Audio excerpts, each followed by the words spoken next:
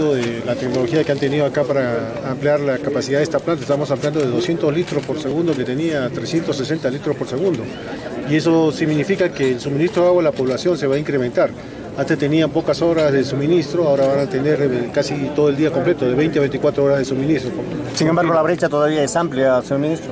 Bueno, a nivel región Cajamarca la brecha sigue siendo amplia porque nosotros hemos, siempre damos mayor énfasis a las zonas urbanas, pero ahora estamos dando énfasis a la zona rural. Muchos centros poblados requieren agua de calidad y en eso está trabajando este gobierno para dotar de agua de calidad a esos centros poblados. Señor ministro, hay un caso de eh, cuatro proyectos de agua y saneamiento en las provincias desde el 2010, en la cual se gestionó por el señor Gregorio Santos y en la hora es cual es sentenciado. Eh, ¿Qué caso está manejándose el Ministerio de Vivienda? ¿Se va a denunciar o se está investigando? Bueno, eso no le corresponde al Ministerio de Vivienda, sino corresponde al gobierno regional.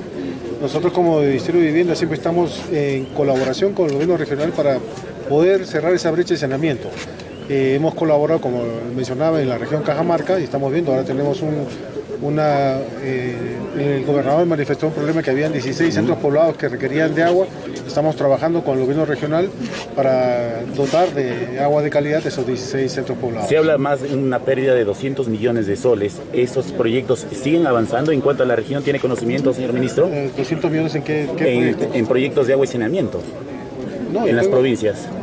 En las provincias no tengo Sí. entendido, como lo manifesté ahora, de que ya proyectos para las ciudades de Celentín, de Cutervo, de Marca, de San Antonio, todos ya cuentan con servicios de calidad. Lo que pasa es que siempre la brecha sigue aumentando.